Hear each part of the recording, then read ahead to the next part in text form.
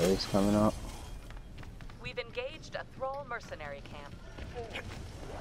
I'm gonna steal their shard.